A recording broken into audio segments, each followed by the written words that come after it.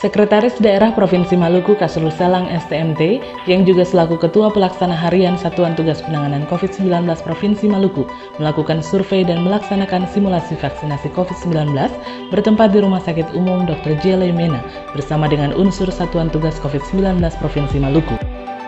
Saat dijumpai wartawan, juru bicara Satgas COVID-19 Provinsi Maluku, Dr. Doni Rerung menjelaskan bahwa Satgas sedang melaksanakan survei lokasi dan simulasi vaksinasi dan dapat diketahui bahwa fasilitas di RSUP Dr. Jelemena sangat memadai untuk pelaksanaan vaksinasi.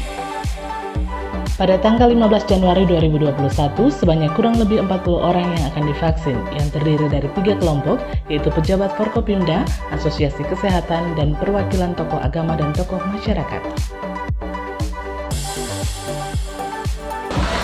Tanggal 15 ya, ya. alhamdulillah sudah di, dipersiapkan. Tadi kita sudah survei lokasi. Bahkan Pak Sekda langsung membuat simulasi untuk uh, bagaimana kelancarannya sudah di, dipersiapkan. Dan ternyata lokasi yang kita survei sangat memadai dan sangat baik. Mudah-mudahan tanggal 15 dapat berjalan dengan baik. Dari tanggal 15 itu tadi Pak Sekda jelaskan ada sekitar kurang lebih 40 orang yang akan dilakukan vaksinasi pertama Oh ya, seperti yang digambarkan dari pusat itu tiga kelompok. Kelompoknya pejabat.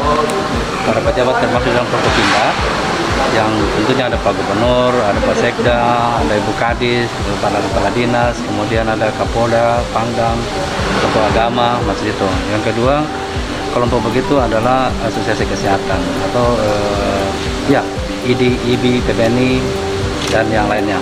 Kemudian kelompok tiga tokoh agama, tokoh masyarakat apakah dari NU, Muhammadiyah, atau masjid itu.